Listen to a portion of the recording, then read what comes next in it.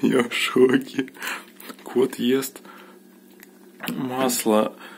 Масло только что со сковороды ел. А, а, подсолнечное. Я вот налил масло, чтобы э, погреть, погреть блинчики с вишней.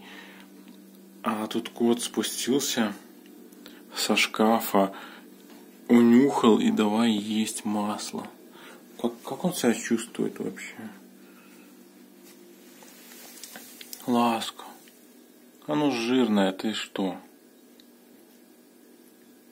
Ласка. Ласка. Долго ей облизываться придется. Может ей водички предложить? Кс-кс-кс. Ласка. Кс-кс-кс-кс. Не хочет. Тогда долго придется ей вылизываться, потому что это все-таки масло.